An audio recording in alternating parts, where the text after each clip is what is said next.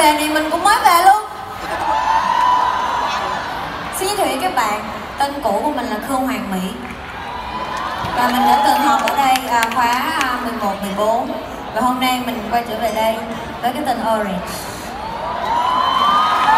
Hy vọng là hôm nay sẽ được mọi người đón tiếp thật là nồng hậu nha và ca khúc đầu tiên mà Orange xin gửi đến các bạn là một ca khúc mà à, mình cùng với một người bạn à, sáng tác.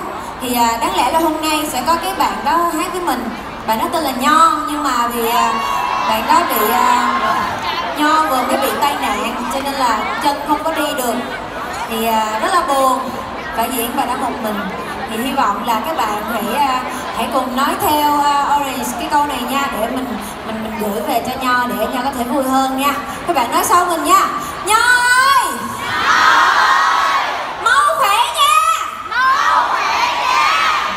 Rồi, mời các bạn cùng lắng nghe bài trà sữa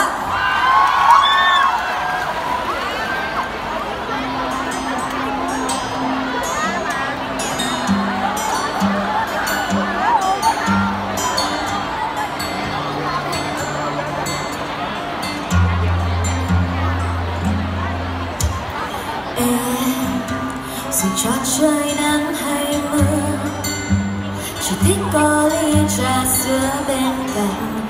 Anh thì vương hương trong tay là tách cà phê đang ngát dù có yêu nhau đậm sâu thì cũng